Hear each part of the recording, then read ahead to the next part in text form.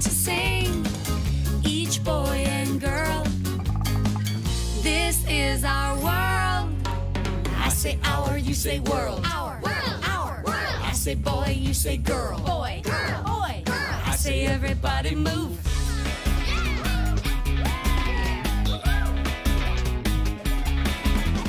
I say everybody stop,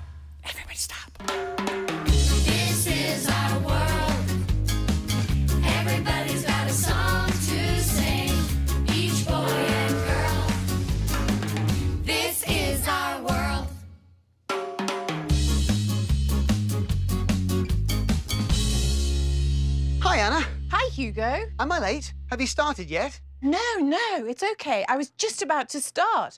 What's happened? My bike broke on the way here, so I had to walk the rest of the way. That's terrible. Can someone fix it for you? I don't know. I only bought it last week. I think I'm going to take it back to the shop and ask if they'll exchange it for a new one. Well, that sounds like a good idea. Today, we'll learn how to talk about different products people buy. We'll also learn about what makes a product good or bad and about how people make decisions about what to buy. We'll sing a song about the things we buy. We'll meet a National Geographic explorer and I'll read a book called Do You Buy It? That sounds brilliant. Let's begin. Let's learn words about things people buy and their characteristics. This is a product.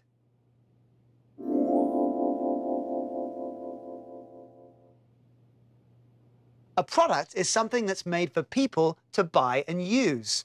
A toothbrush is a product, and so is a computer. Manufacturer. Products are made by manufacturers.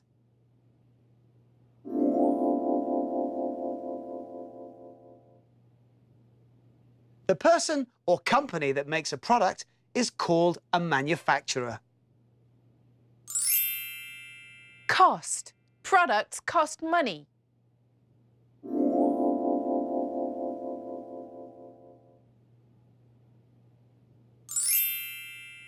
Customer. A person who buys a product is called a customer.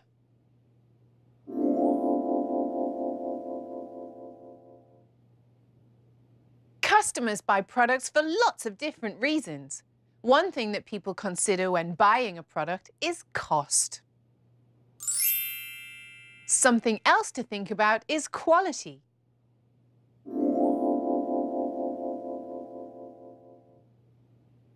Quality means how well something is made. Break. A product that isn't well made is likely to break.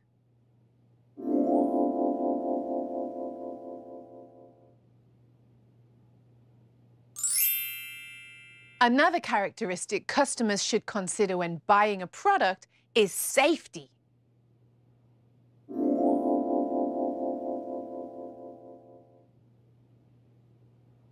A safe product protects people from getting hurt.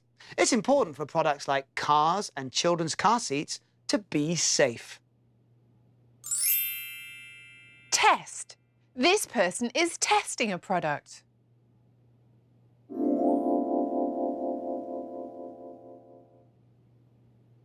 To test is to check a product to make sure it's safe to use.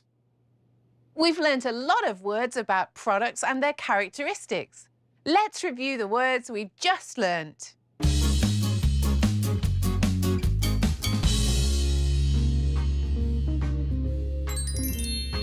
These sweets are made in a factory. What are they? Unscramble this word.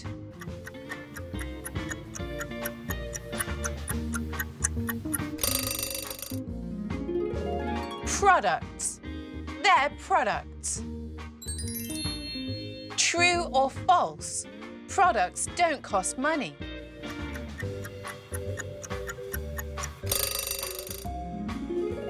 False. Products do cost money. Products cost money to make and to buy. Now fill in the blank. Manufacturers.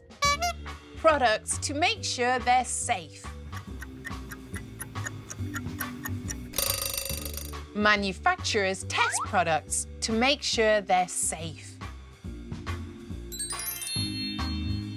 Fill in the blank. Low quality products easily.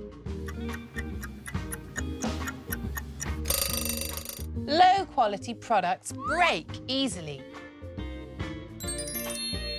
This is a factory. Who owns the factory? A manufacturer. The factory is owned by a manufacturer. Large manufacturers can produce thousands of products per minute. What is one of the most important characteristics to consider when buying a car?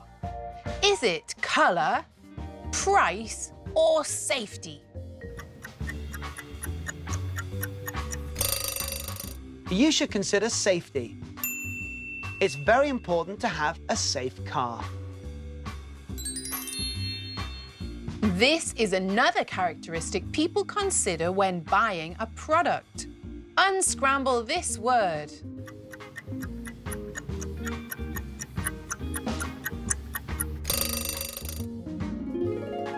Quality. Many customers consider quality when buying a product. This person is buying a product. What is this person called? Is she a manufacturer, an inventor, or a customer?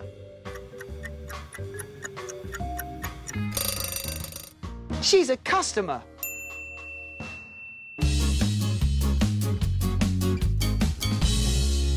Now let's learn about how manufacturers test different products for quality and safety. This is a dummy.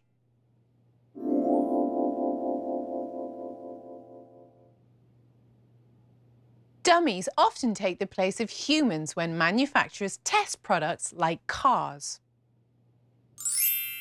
Impact. This is an impact.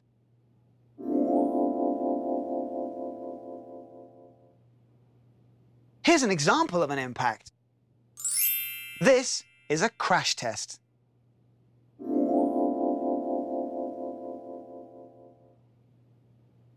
Crash tests help manufacturers identify weak spots in the materials or the design of a vehicle. Manufacturers test their products in other ways too. Tear. To tear something is to rip it using force.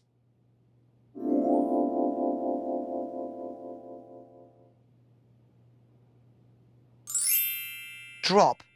Manufacturers drop products to test for strength.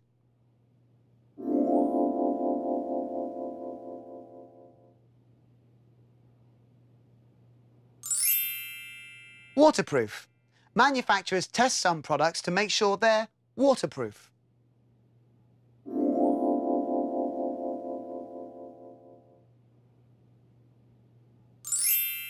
Dip.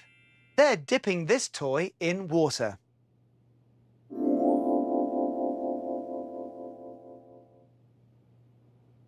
One way to test if a product is waterproof is to dip it in water. If water leaks into the product, the product isn't waterproof. Fix. This person is fixing a car.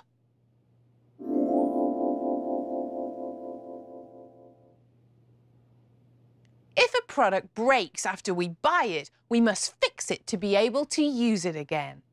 Or we could ask someone else to fix it. Yes, that'd be better. We've learnt a lot about how manufacturers test products for quality.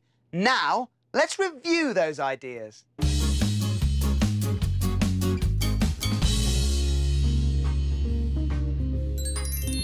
Fill in the blank. A low-quality shirt might easily. A low-quality shirt might tear easily. Look closely. Why is this product being tested? Is it being tested to make sure it's strong, safe, or waterproof?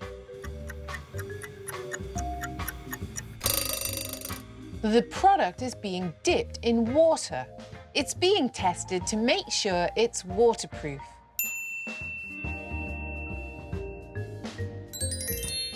Fill in the blank. To hit something with force is to cause an... To hit something with force is to cause an impact. True or false? Car manufacturers use real humans to crash test cars.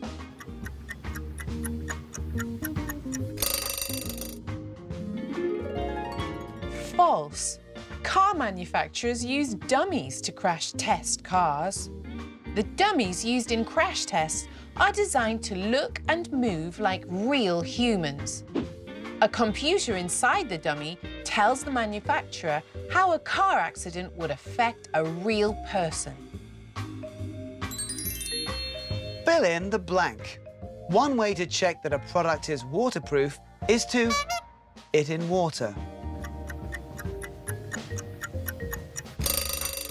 One way to check that a product is waterproof is to dip it in water. What happened?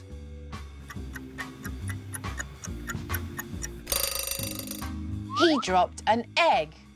Oops, that made a mess. What is he doing? Is he fixing, painting, or cleaning the car?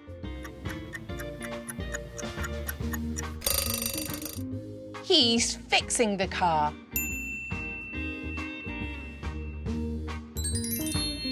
What's happening in this picture? Unscramble these words.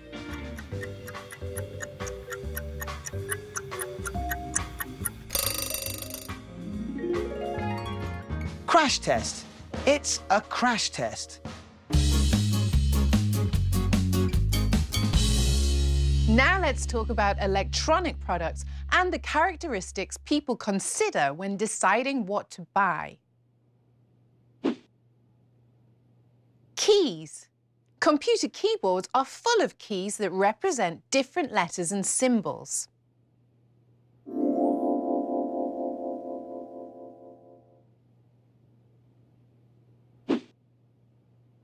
Wear and tear.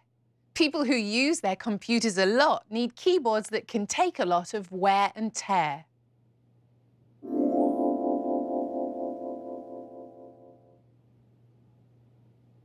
Wear and tear is the stress or damage you cause to a product when you use it.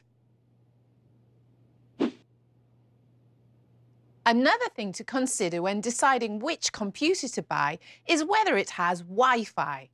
Wi-Fi is a technology that allows you to access the internet without plugging your computer into a wall or using a cable.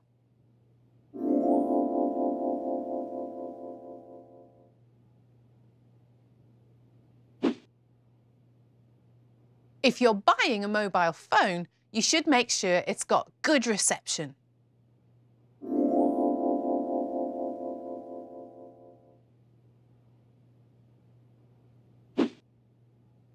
This is a text message.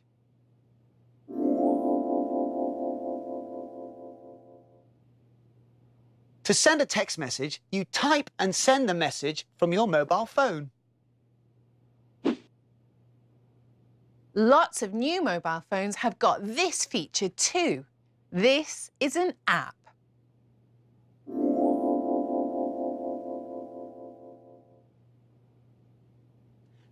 Apps are computer programs that you can download onto your mobile or tablet.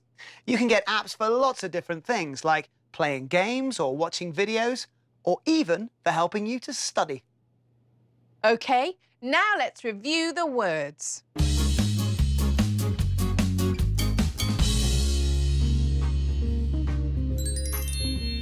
Look carefully at this photo. What is it?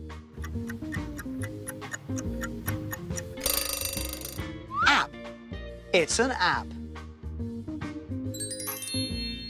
Next one, true or false? You have to have good reception to make a call on a mobile phone.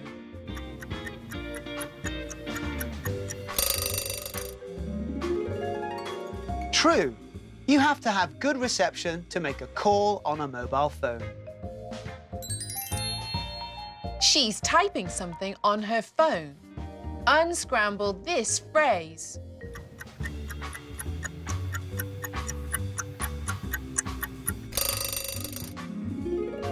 Text message. It's a text message. Did you know that trillions of text messages are sent each year around the world? Fill in the blank. If your computer has got a strong signal, you can access the internet easily. If your computer has got a strong Wi-Fi signal, you can access the internet easily. Look closely at the picture. What does it show? Wear and tear. This lorry can take a lot of wear and tear. You press these to make words on a computer. Is it the keys, the screen, or the mouse?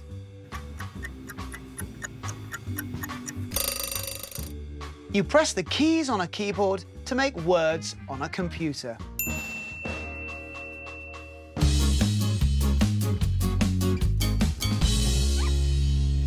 Look, look, I've got a new mobile phone. The person who sold it to me showed me how to use it. He told me to press this button to send text messages. He told me to use this app to play games. He told me to be really careful with the phone. He told me not to drop it. He told me not to dip the phone in water. Oh! Hello? Oh, hi, Mom.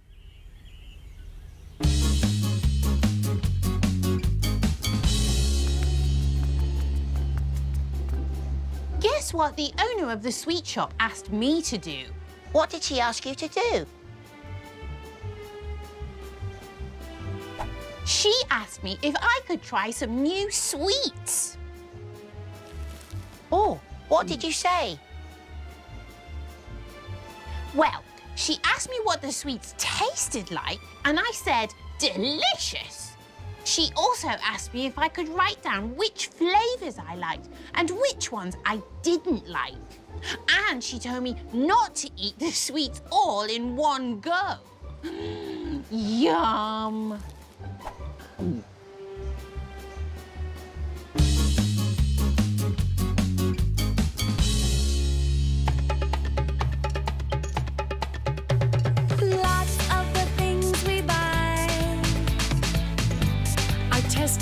Safety. That's good. Products should be safe. They should be safe for you and me.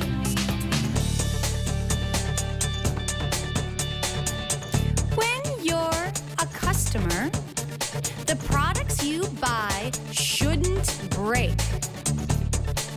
A manufacturer should try not to make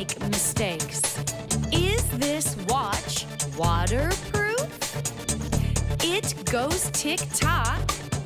Let's dip the watch in water. It's just a test to make sure everything is safe. Lots of the things we buy are tested for safety. That's good. Products should be safe. They should be safe for you and me.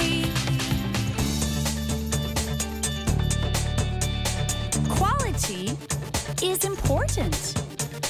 Products should be safe. A factory that makes things should test everything just in case. A dummy sits in a car. The car speeds up. Crash!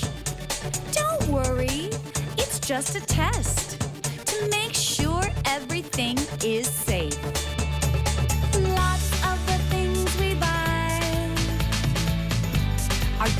for safety. That's good. Products should be safe.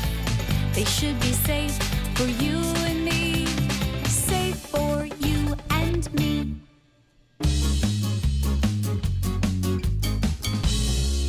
Hi, Hugo. It's time to watch some videos. Yes, it is. We're going to watch some videos about how manufacturers test different products for safety and quality. This is a shopping centre. Customers can buy all kinds of products at a shopping centre.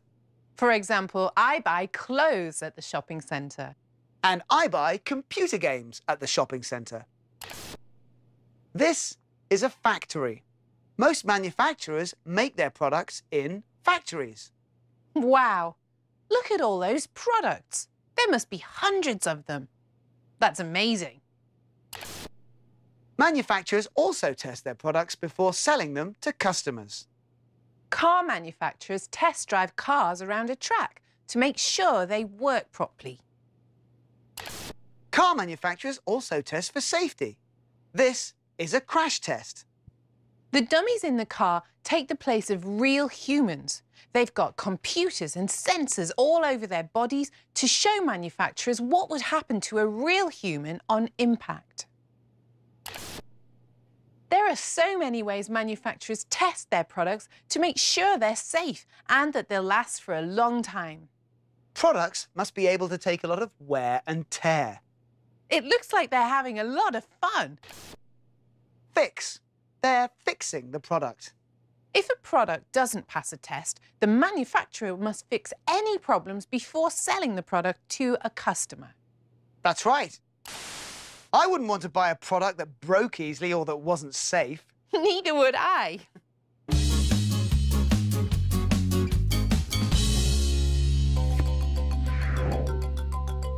Now let's meet Iain Couzin, National Geographic Emerging Explorer and Behavioural Ecologist. My name's Iain Couzin. I study collective animal behaviour. Animal behaviour is all around us. Organisms that we may think are, are relatively simple, organisms like schooling fish or perhaps flocks of birds, in actual fact can harness the collective capacity to solve problems. And so it's great when, when one is doing science to discover things that no one has, thought about before because they, they assume the world works in a certain way, and you can actually find out it works in, in quite a different fashion.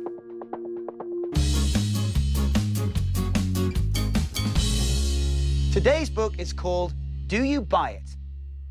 Advertisements are all around us.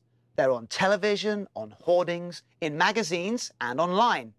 According to studies, children are exposed to thousands of adverts every day. Each year, billions of pounds are spent on advertising around the world. Companies spend this money to try to persuade consumers to buy the things that they are selling. While advertising has always targeted adult consumers, in some countries, advertisements are increasingly targeting children. Why? Because children not only spend their own money, but they also often have an impact on how their parents spend money too. Advertisers have got many clever techniques to get children to want to buy their products. Have you ever decided that you wanted a product after seeing an advertisement for it in a magazine or in a television advert? If so, the techniques used in the advertisement may have worked on you. Advertising techniques are designed to make you believe certain things about a product. Some of these things may be true, but others may not be. By understanding advertising techniques, you can work out what is and isn't true in an advert.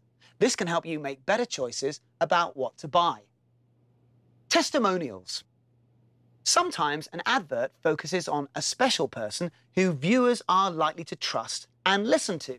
This kind of advertisement is called a testimonial.